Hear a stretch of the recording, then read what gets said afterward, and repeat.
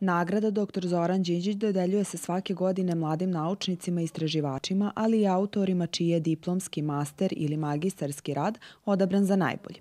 Ovogodišnja dobitnica prve nagrade je Vanja Šeregelj, druga je pripala Saši Kostiću, a treća Goran Imijatović. Nagradu za najbolji master rad dobio je Nikola Čanski. Veoma me raduje činjenica da e, se ceni nauka u našoj zemlji i da se naučni doprinos mladih ljudi podržava i promoviše e, dodelom priznanja kao što je dr. Zoran Đinđić za e, najboljeg mladog naučnika i istraživača.